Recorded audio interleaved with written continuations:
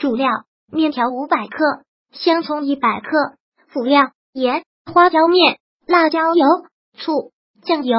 准备时间十分钟内，制作时间十分钟内。小香葱切末，放在一个准备好的大碗中，然后依次放盐，放少许花椒面。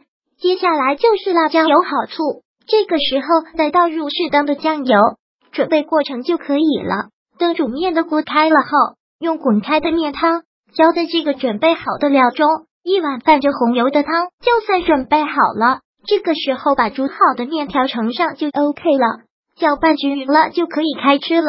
烹饪技巧做这个特别简单，而且味道香美。再就是配料简单随意，香葱、韭菜。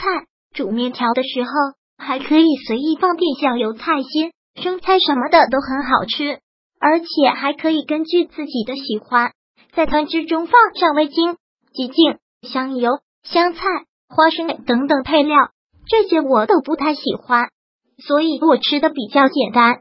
如果喜欢本视频，请分享并订阅本频道，访问 T T News X Y Z 获取更多相关资讯。